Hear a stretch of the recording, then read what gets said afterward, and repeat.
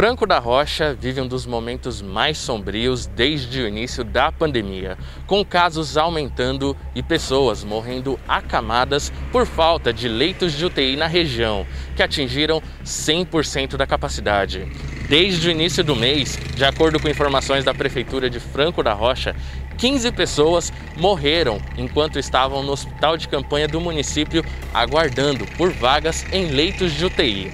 Hoje, o Cidade Repórter veio acompanhar essa situação de calamidade e saber o que a Secretaria de Saúde e prefeito estão fazendo no meio da maior crise do município de Franco da Rocha. Nesse exato momento, a gente tem seis pessoas aguardando leito de UTI, tá? E nos primeiros 16 dias de março, nós tivemos 15 óbitos de pessoas aguardando leitos de UTI dentro da nossa UPA. Tudo que compete ao município, nós estamos trabalhando e a população pode ter certeza. Nós estamos falando dia e noite para que realmente nenhuma pessoa fique sem o atendimento básico de saúde. Acompanhe a nossa matéria em instantes. Atendendo o decreto do governo do estado quanto à fase vermelha emergencial, nós, da Rede Construir, estaremos trabalhando com vendas pelo WhatsApp e entrega delivery 94441 1782, o 969053374 e 943976417. Liga pra gente de 15 a 30 de março, não vamos deixar de atendê-los de forma remota. O Brasil e a nossa região enfrentam o pior momento da pandemia. Hospitais estaduais com leitos de UTI atingiram 100% de ocupação.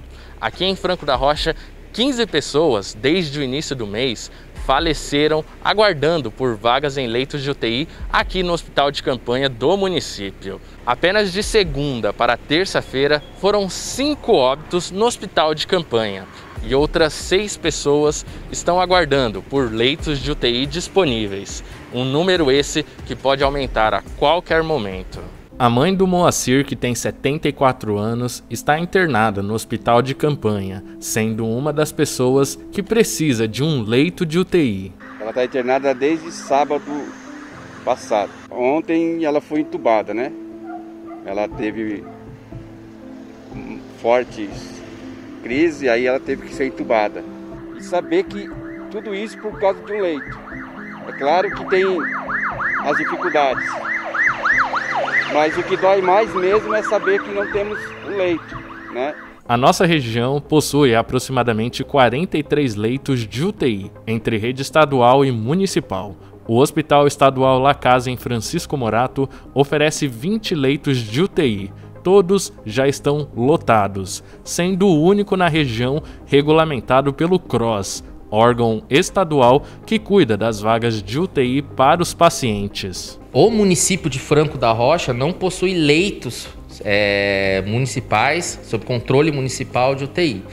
É, os leitos de UTI, que, que, os pacientes que, de Franco da Rocha que precisam de um leito de UTI, eles são inseridos para a regulação do componente estadual, que se inicia por essa região de Franco da Rocha, esses 43 leitos que a gente tem, e na indisponibilidade de leitos nessa região, é, se expande para a região, outras regiões da Grande São Paulo e assim por diante. Essa é a central de regulação cross que a gente fala. O Hospital de Campanha de Franco da Rocha, que fica nesta tenda e no prédio central da UPA, contava com 36 leitos de média e baixa complexidade e foi ampliado e agora conta com 48 leitos. 38 leitos para casos leves de Covid ficam na tenda e 10 leitos semi-intensivos ficam no prédio central da UPA. Tudo que compete ao município, que são esse atendimento primário de baixa e média complexidade, a prefeitura está fazendo. É, até hoje é, não, não tivemos nenhum